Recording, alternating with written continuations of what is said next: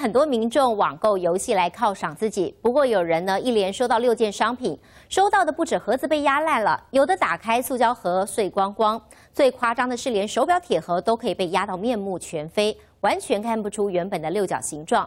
买家就气到破网抱怨，质疑物流业者怎么送货的。对此，超商回应说，消费者可以先向平台来反映，同时会审查实际的送货情况，给消费者一个交代。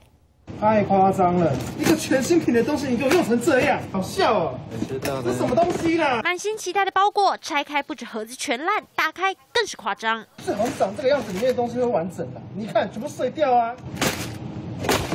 民众大暴走，之所以这么生气，不是没原因。前后在便利超商取货共六件，但拿到手不止被压烂，就是毁损，没有一样完整，气得他在网络 po 文，只说自己一月初就网购这些东西，同一个超商、同一个平台负责。当初特别避开过年时段，不料收到货竟烂成这样，买家想不通到底怎么回事。变铁饼哦，它原本是长这个样子的盒子，如果里面装手表，那还得了？手表铁盒压得扁扁扁，完全看不出原本的六角形状。陈先生质疑，这根本是蓄意破坏才变这样。但让他气炸的还不止这样，也是碎的，很明显哦，碎的很夸张。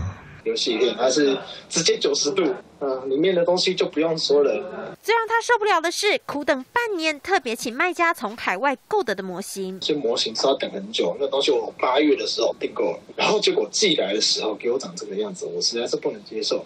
对此，超商强调，消费者遇到这种情况可以向平台反映，同时会加强人员训练，并承诺视察送货过程发生了什么事，给消费者一个交代。原本趁年假期间买游戏犒赏自己，收到东西却成这样，恐怕花钱消费的好心情现在全被打坏。也是碎的，很明显哦，碎的很夸张。记者邱玉婷、张世奎台北采访报道。